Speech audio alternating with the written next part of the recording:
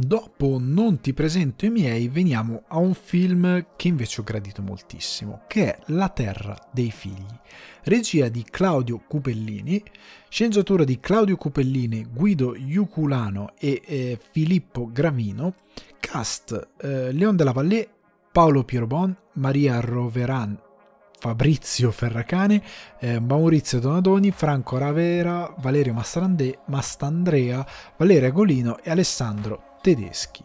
Allora, parliamo di questo film che, come dicevo in introduzione, eh, io aspettavo moltissimo, che mi ha sorpreso per molti aspetti e che mi ha deluso per altri aspetti, non per colpa del film, ma perché io ricordo che al box office questo film fece registrare, oddio non vorrei sbagliarmi, ma circa 60.000 euro, 60.000 euro di incasso, quindi ha avuto una distribuzione ridicola, eh, non ci ha creduto nessuno, anche a livello pubblicitario, ed è un peccato perché GP non è uno sconosciuto, non è un fumettista di nicchia, è un fumettista conosciutissimo in Italia, vince premi in tutto il mondo, i suoi fumetti vanno in tutto il mondo, lo stesso La Terra dei Figli è stato tradotto in francese, in inglese, è un fumettista di fama internazionale, è conosciutissimo, ripeto, in Italia e che un adattamento così ben fatto di un suo film non venga per nulla valorizzato è per me un crimine. Partiamo da una cosa. Ehm, in Italia il post-apocalittico, parlando di genere, mi sono preso due appunti perché alcuni titoli non me li ricordavo, non si vede da post eh, Fuga da New York, perché dopo Fuga da New York di John Carpenter, in Italia quando si usava ancora fare molto genere, arrivavano i cloni. Quindi ad esempio eh, questo dovrebbe essere eh, addirittura su Prime Video, ovvero Sergio Martino aveva fatto 2019 dopo la caduta di New York. Credo ci sia anche un video di un bel video di Sinergo di cose dell'altro cinema a riguardo. Eh, poi c'era anche Enzo Castellari con 1990 I guerrieri del Bronx come potete vedere tutti, la copertina di la locandina di 1990 è addirittura palesemente uguale a quella di Fuga da New York. E eh, Enzo Castella, eh, scusate, Lucio Fulci con i guerrieri dell'anno 2072. Il post-apocalittico era diventato una wave dopo quel film seminale così incredibile di John Carpenter e noi non lo facciamo da allora quindi dagli anni 80, dall'82, 84, 85, da allora non facciamo questi tipi di film. Finalmente l'abbiamo fatto e lo abbiamo fatto eh, con molta dignità rispetto a molti altri che fanno post-apocalittico e lo fanno in modo un po' sciatto, percorrendo sempre strade già viste molte volte.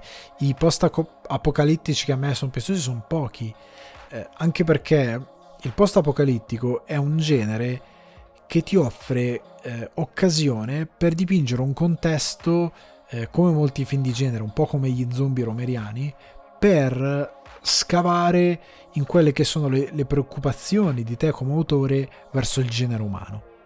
Ti dà possibilità di scavare in questi temi e generalmente si va a guardare nelle nefandezze che l'essere umano arriverebbe a compiere perché sono nella sua natura in base alla società nel quale, eh, al contesto sociale nel quale è cresciuto ora e che l'autore va a estrapolare a mettere in una situazione estremizzata come il post-apocalittico per ehm, individuarne le criticità e le follie e amplificare il tutto, no?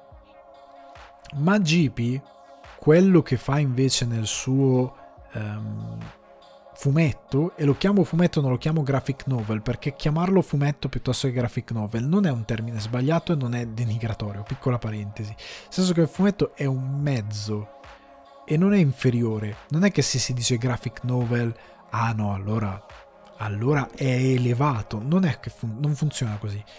È un fumetto ed è, va bene dire fumetto Graphic novel è un termine molto bello che, sia, che, i fumettisti si sono inventati per dare maggiore rilevanza a quello che fanno, ma è pur sempre un fumetto e va bene chiamarlo così. E gli stessi fumettisti che capiscono il loro mezzo ci tengono a dire è un fumetto. Molto spesso quando alcuni giornalisti li intervistano, no, ma chiamarlo fumetto è riduttivo. No, è un fumetto, è quello che è, e il mezzo è quello, è un fumetto.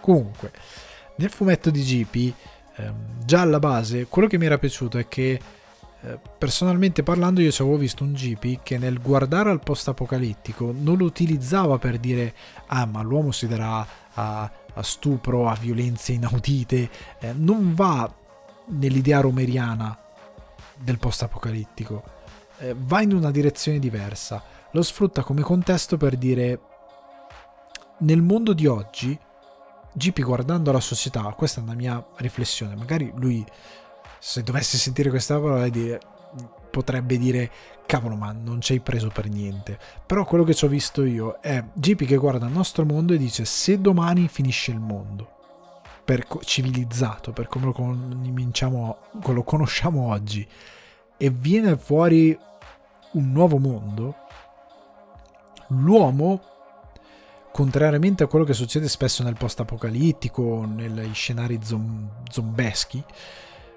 non cerca, per quanto in modo nefasto, di ricreare una sorta di ordine sociale, perché l'uomo per sua natura cercherà di ridarsi una sorta di ordine.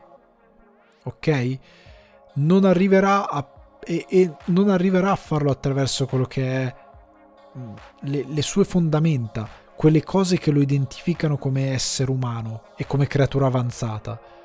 Quindi la scrittura, eh, la lettura, la cultura in generale, o comunque una ricerca di ricostruire quell'avanzamento, quella figura di uomo avanzato che si è costruito nel corso del tempo prima di arrivare alla fine. Perché quando arrivi alla fine capisci cosa è importante e vuoi preservare tutto quello che c'era prima della fine o riscoprirlo.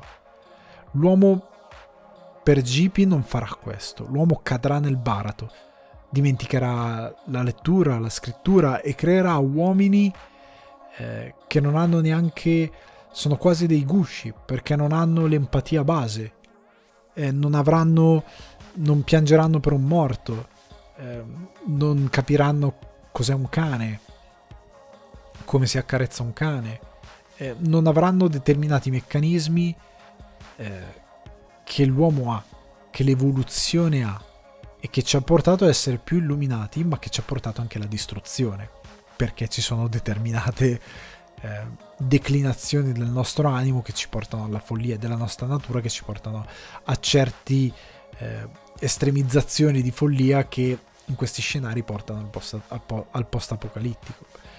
Eh, GP fa altro e mi piace molto quello che fa, che fa e mi aveva fatto innamorare del suo fumetto, oltre al fatto che è cinematografico e per questo ero molto curioso della, dell'adattamento perché parla molto per immagini, sono immagini molto d'atmosfera, molto cinematografiche. I panel sono incredibili del, del racconto di GP. Nel film eh, questa traduzione che non puoi fare in uno a uno, perché se avete letto il fumetto di GP e se lo conoscete capisci che tante cose non possono essere tradotte uno a uno. Non si può alcune forse si poteva, ma serviva un'ambizione diversa. Per certe cose serviva la capacità di poter tradurre determinate cose, di renderlo un po' più folle come film, ehm, senza andare nel ridicolo e di renderlo comunque serio. Sta di fatto che ehm, ero curioso di vedere questa trasposizione perché volevo capire, ecco anche questa cosa nel, nel fumetto c'è la storia è questa, siamo in questo futuro eh, distopico, perché giustamente se non vi dico la trama non capirete mai che cos'è. Eh, siamo in questo futuro distopico, no scusate, post-apocalittico, non c'entra niente la distopia, post-apocalittico, eh, nel quale sostanzialmente eh, la società è in mano a dei vecchi, perché chiunque era bambino nel momento in cui, o neonato nel momento in cui è successo quello che è successo, ehm, è stato ammazzato chiunque era adulto ha deciso che in quel mondo non dovevano vivere e quindi sono stati ammazzati.